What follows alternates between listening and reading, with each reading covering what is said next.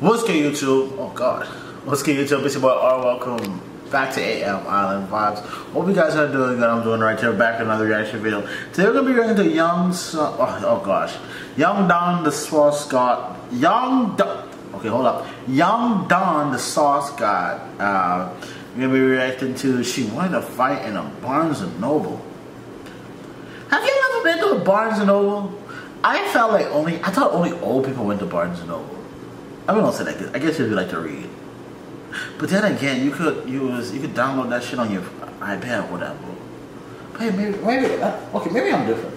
But anyhow, let's get to the reaction video. If you guys are new to the channel, smash the button, subscribe, comment down below. On the road to 1,000 subscribers. Show you boys some love. Let's get to it. Oh, what? Am I embarrassing you? Yes, you are. Now lower your voice.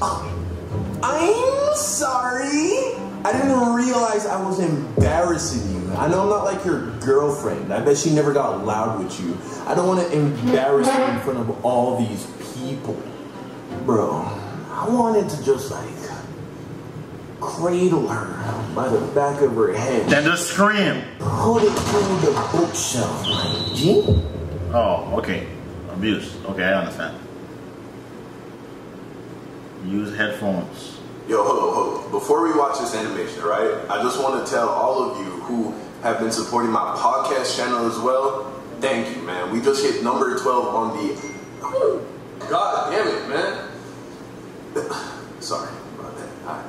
I, was a bit of an outburst. I, I didn't mean to, uh, you know, come across so aggressive. But uh, yeah, I just want to tell you thank you for supporting my podcast. We just hit number 12 on the Apple Podcast app thing or whatever. We have a TikTok in one week. Our TikTok is almost at 60,000 followers. All of the podcasts are getting like 10,000 views in the first two days. It really means a lot, man. So thank you. And if you haven't checked out the podcast, yo, go check it out. It's very funny. It's very entertaining. So go check it out. Go check out my podcast. Thank you. Okay. Go look at it and subscribe to my podcast. Who is McDonald's? McDonald's is the school thought everybody's that, that Yeah, right? yeah. You know, she not bad looking. She not great looking. She, She just, just- like It's you know, not good for her. You know why you in it. You like it suffices, Okay, but you might not want to brag about it. yeah. You don't know, nobody ah. brags about I don't care what anybody said. McDonald's. That's not important. I feel like Whataburger is that girl that you don't really think is hot, but for some reason, a lot of this, the gas is dope for no That's a reason. Great analogy. Do you have any places that to you feel sacred? A place that you only associate with good things. A place My where bathroom. you know no matter how down bad you're feeling. My bathroom. Listen, just know if you ever hear Auri invented uh, a time machine, just know there's a high possibility Auri thought of that shit while he was on the toilet. I don't have to be shitting. Don't don't think that I'm on the toilet mean I'm actually shitting. Sometimes I just put my okay pause. Sometimes I literally pull my trousers down and just sit down there. Maybe something might come out. Maybe something won't. It's just the thought of the bathroom is just so peaceful. Like, and I don't understand how people keep their bathrooms dirty. Like, the bathroom is like, your butt goes there and you'd be like, oh, this is such a special connection. And I don't like when every, any and everybody use my bathroom, to be honest. I love funny with it because this is my, this is my throne. The throne. Ah, beautiful. Yeah, you'd be in a better mood. For me, Yeah? that place is Barnes and Noble. Really? It's the premier bookstore chain here in America, and is hands down my favorite place to spend money. Why? Because when you buy a book, you never feel like you're wasting money. Even if you buy a book about something that was like complete nonsense, like a thousand fart jokes or gender studies, you know, you still feel like it was money well spent because it's a book. And books are smart people, intellectuals. Uh-huh. know? So, yeah, the bookstore is hands down my favorite place to go if I just want to pass some time. Surrounded by all that inspiration, wisdom, and knowledge, I always leave the bookstore feeling better than how I felt when I got there. But that's me. Maybe for you it's a different place. Maybe it's the gym, coffee shop, the hardware store. I don't know. I'm just listing other places that I like. Point is, we all got a place like that, I imagine. So, how would you feel if one I don't have a place brought someone along so that you could share the joy that this place sparks within you with them?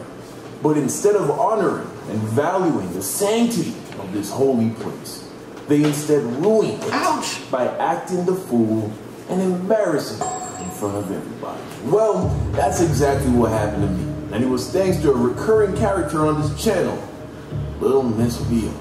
You remember Bianca? Bianca. Right from the I wasn't ready to be a dad video or the night my heart stopped beating?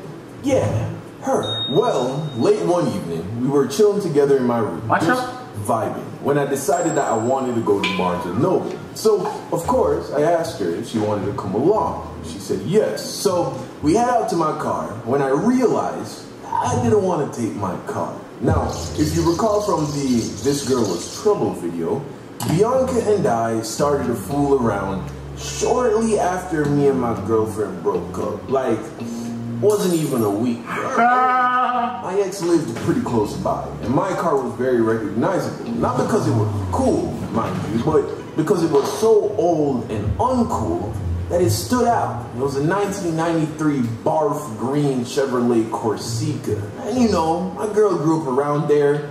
You know, people knew me, people knew Bianca. Just wasn't a good look that soon, you know? So I was just gonna tell Bianca not to come, like I had changed my mind halfway to the car. But she happened to ask if I wanted her to drive. So I was like, ah, okay, that works. Her car was more low key. Okay. Blended in better. It was a black VW Jetta. So we get in the car and off we went. V Now, up. one thing about Wait, hold on. Is it? Did he pronounce that right? I thought it was Volkswagen. okay, that works. Her car was more low key, you know, blended in better. It was a black VW Jetta. So Okay, we get okay, in the that's it. car Okay, off we VW. went. Dude, Now go now, man. Is that a correct way to say? it? I understand you saying the letter is VW. I've never heard that before. VW. I've heard Volkswagen. I had the wagon. I've heard uh, what was I heard? Something else they called them. I think I can't remember. Well, I, know, I never heard VW. That's new. About Bianca that I've never shared with y'all is that she was a bit of a firecracker. You know, like her personality. She loved to argue like it was sport. Never shied away from challenging people on their opinions and rarely held her tongue if she disagreed with you. And to be honest, it was only within the last couple of years that I myself have outgrown the need to argue with people. Growing up, Facts. especially about bullshit. It was like the dumber Listen. the topic was, the more passionate the argument would be. Also, around Right. the same time, believe it or not, I was vegan. In fact, I was vegan for almost a whole two years from the age of 19 to 21. And although I was never like a vegan activist, because I only did the vegan thing out of thinking that it was a superior diet model, an opinion that I have since changed upon receiving more information and trying different diets. At the time, I wholeheartedly believed that it was the best diet. I told you. There's something wrong with these vegans. I told you. I preached this on this channel several different occasions. These vegans are weird. Let me tell you why I say they weird. They think they freaking better than everybody. You eat cow. Nigga, lick my ass. They think they're better. They think they're superior human to you and I. Because we consume meat. Because I consume dairy. Because I actually like to use proper deodorant.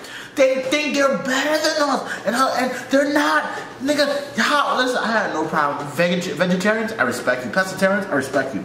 Vegans, I don't respect you. You know why? You look me in my face and tell me you like bush shit better than ain't.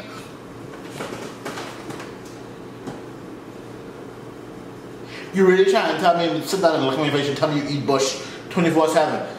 And you tell me that shit tastes good? Get away. I don't I don't believe the hype. And listen, I have no problem, right? Look, listen, even young Don just proved it. Vegans are miserable. They're miserable humans. They're miserable. He was yelling at people when he was so someone were to challenge me on that, I had no problem arguing. see? Proud. Cause he ain't had no meat. So we're in the car on the way to Barnes and Noble when Bianca and I get into some kind of a debate about veganism. Ah. She wasn't quite saying it was bullshit, but she was Bullshit. definitely like trying to poke holes into it. And I had no time for that. So we're going back and forth, back and forth, never getting disrespectful or out of hand, but you could definitely see that she was really getting into it. This went on all the way up until we pulled up to the Barnes and Noble. And as much as I love to debate people about how they're wrong and I'm right, we were about Vegan. to enter a Vegan. place. Remember, to me, the aisles of a bookstore are holy ground and no place for negative energy. So I tell her, hey, uh, let's pick this back up when we're done here. Yeah. We head inside and start to browse around. So I'm doing my thing, perusing my typical genres. My go-to sections are the self-help section, health, and philosophy. And at first, everything is good. But then we pass by the culinary section and she sees something about veganism.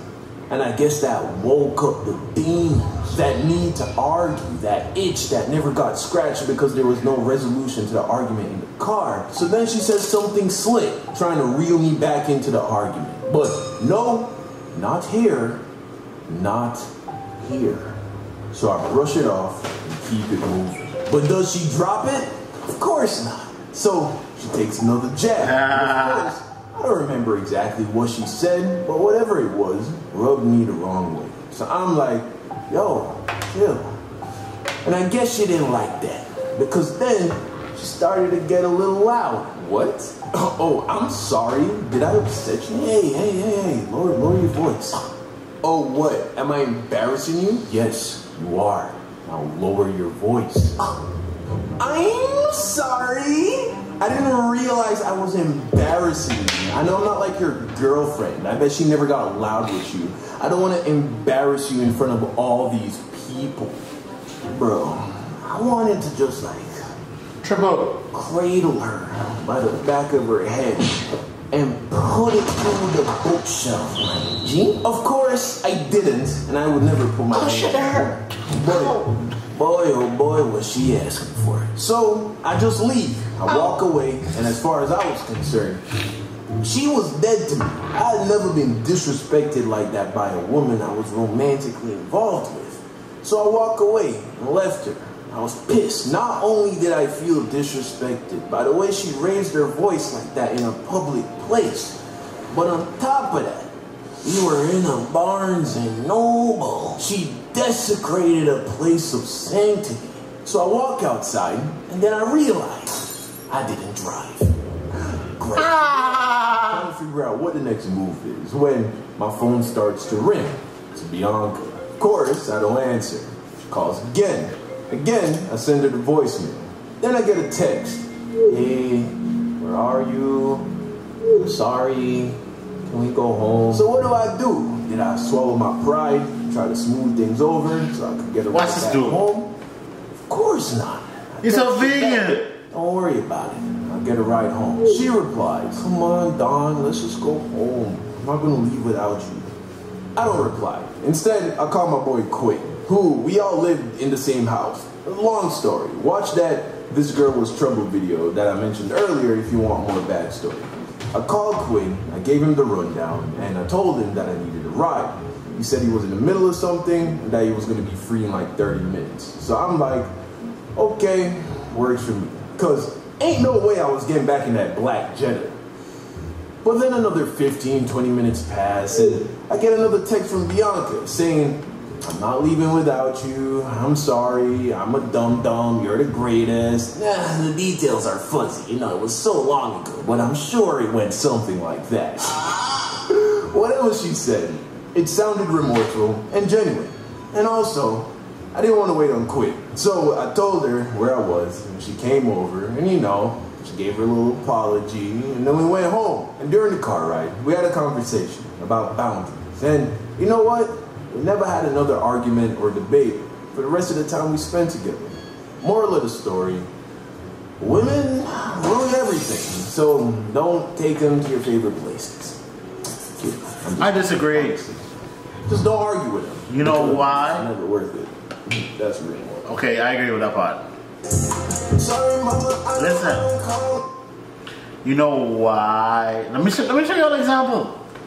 Young Don was, how do you say it? Fragile. His feelings was hurt, right? You know why his feelings was hurt? Cause he was a vegan. That's why. Eat meat makes you feel better. I say go stupid now. I say damn go bite the the ass of a freaking cow. You know what I mean? Cook the wild good every now and then. Moderation is everything, right? I ain't that's I find it funny. the fat guy telling y'all about moderation. Shit, ain't that a killer calling the, the pot black? anyway, um, yeah, moderation. So you know, enjoy your little pieces of, and use proper deodorant. Y'all vegans, sometimes you have all plant-based deodorant. Yeah, you smell musky mess. You smell like wet clothes. Stop it. You smell. Stop it. Put on proper deodorant. Alright, cool. Right, but hope you guys enjoyed this video. If you guys are new to the channel, smash the like button, subscribe, comment down below. We're on the road to 1,000 subscribers. Show boys some love. That said, I hope you have an awesome day. Be happy, be blessed, and remember, the world is yours. Peace. I'm out.